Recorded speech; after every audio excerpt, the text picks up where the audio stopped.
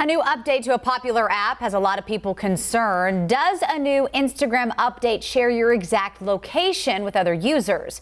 Ariane Datil and the National Verify team have the answer. A security warning for Instagram users has gone viral, claiming that an update to the app allows people to find your exact location. The post urges users to turn off their phone's precise location feature, so the app doesn't share a user's specific location through their geolocated posts or stories. So let's verify.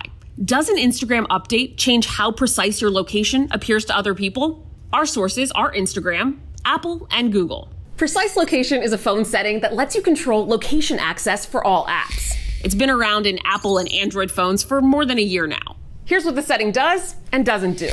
When you post a picture or a video to Instagram, you can search for and add any location as a geotag. It can be as specific as an exact address or business name, or as vague as a state or a country. The precise location setting does not control the location information that's shared out on a post. Let me show you what it actually does on my iPhone. I have location services and precise location turned on in my phone settings for Instagram. Now, when I post a picture, I get a bunch of specific locations to choose from to geotag my photo, like the restaurant here on my block. Now, if I turn off precise location, my geolocation options are much less specific. Instead of the restaurant downstairs, the app suggests the neighborhood or the city that I'm in.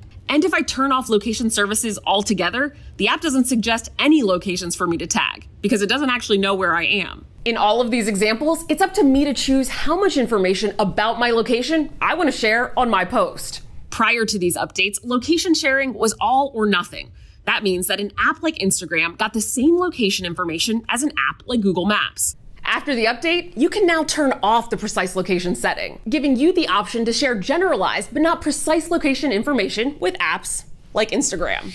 Instagram addressed these viral claims, saying, to be clear, we don't share your location with others. Similar to other social media companies, we use precise location for things like location tags and map features. So we can verify no, there is no new Instagram update that changes how precise your location appears to other people. With your Verify, I'm Ariane Till.